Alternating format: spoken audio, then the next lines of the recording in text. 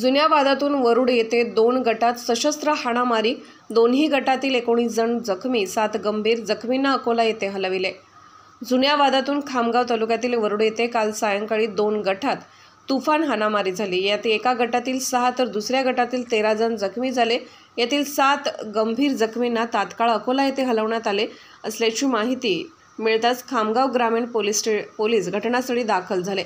परिस्थितीवर नियंत्रण मिळवल्याने गावात तणावपूर्ण शांतता असल्याचे समजते. याबाबत प्राप्त माहितीनुसार खामगाव तालुक्यातील वरुड येथे दोन गटात काही दिवसांपासून वाद धुमसत आहे. या वादातून काही दिवसांपूर्वी काहींच्या विरोधात खामगाव ग्रामीण पोलिसात अदाखलपात्र गुन्ह्याची नोंद करण्यात आली आहे. दरम्यान काल पुन्हा या दोन्ही गटात वाद उफाळून आला. वादाचे पर्यवसन सशस्त्र हाणामारीत हाणामारीत झाले.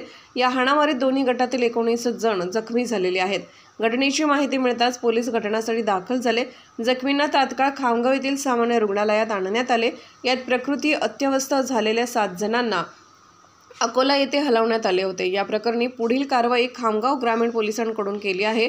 दरम्यान घटनेची माहिती मिळताच शहर पोलीस स्टेशनचे निरीक्षक शांतिकुमार पाटील आपल्या पथकासह सामान्य रुग्णालयात पोहोचले होते. गावात चोख पोलीस बंदोबस्त लावण्यात आला असून घटनास्थळी खामगाव ग्रामीण पोलीस स्टेशनचे निरीक्षक सुरेश नाईकनवरे यांच्यासह दंगा काबू पथक झाले दाखल झाले होते.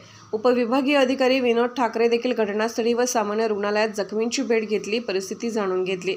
एबी न्यूज मराठीसाठी मोहम्मद फारूक खामगाव.